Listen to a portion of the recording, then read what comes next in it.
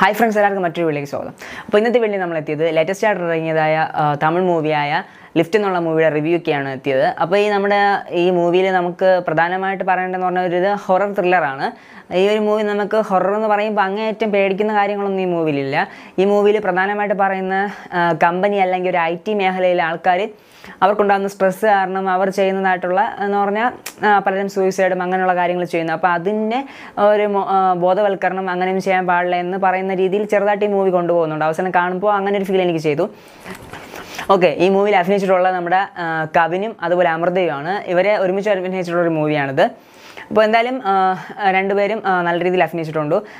നല്ലൊരു പ്രത്യേക ഒരു ലെവലിലാണ് മൂവി പോകുന്നത്. പക്ഷേ ആ ഒരു നമ്മൾ വിചാരിക്കുന്ന പോലെ അത്രമാത്രം വലിയ കഥയായിട്ടൊന്നുമില്ല. ചെറുതായി നമ്മൾ പ്രതീക്ഷിക്കുന്ന രീതിയിൽ തന്നെയാണ് കഥയുടെ എൻഡിങ് കണ്ടിരിക്കാൻ കുഴപ്പമില്ല നല്ലൊരു മൂവിയാണ്. ഓക്കെ അപ്പോൾ എനിക്ക് മൂവിയിൽ നിന്ന് കണ്ട കുറച്ച് കാര്യങ്ങൾ നമുക്ക് ഫാമിലിയായിട്ടൊക്കെ ഒരുമിച്ച് കാണാൻ പറ്റും നല്ലൊരു മൂവിയാണ്.